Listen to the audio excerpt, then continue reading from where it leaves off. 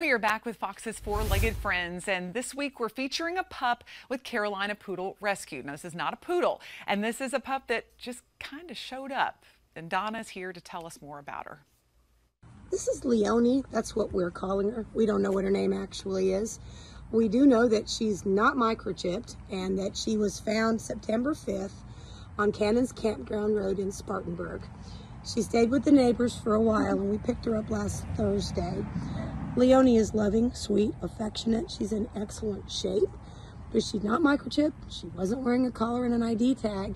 And Leoni is really desperately missing her family. She is well behaved. She is affectionate, loving. She's everything you look for in a dog. And she's very sad. Someone has loved this dog and someone is looking for this dog. Please help us reunite Leoni.